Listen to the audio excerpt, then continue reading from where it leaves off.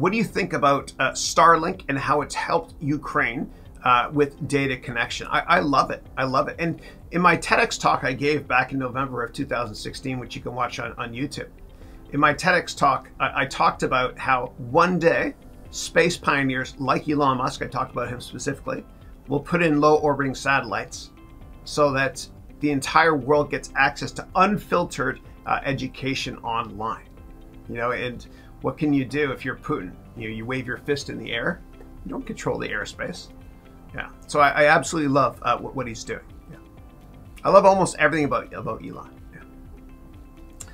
And he is brilliant. And you've never seen a Tesla commercial. We haven't.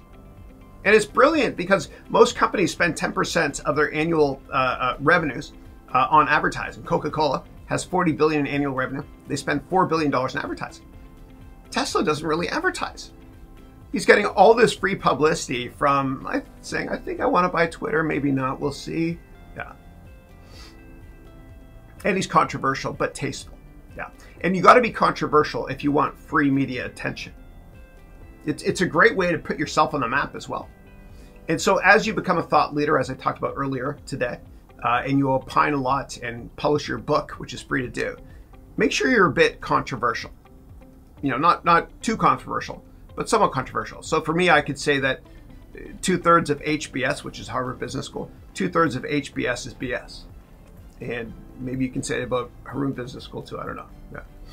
But be controversial, and and Mark Benioff's been controversial since he launched Salesforce back in 1999 by saying that software is dead, uh, cloud is the future.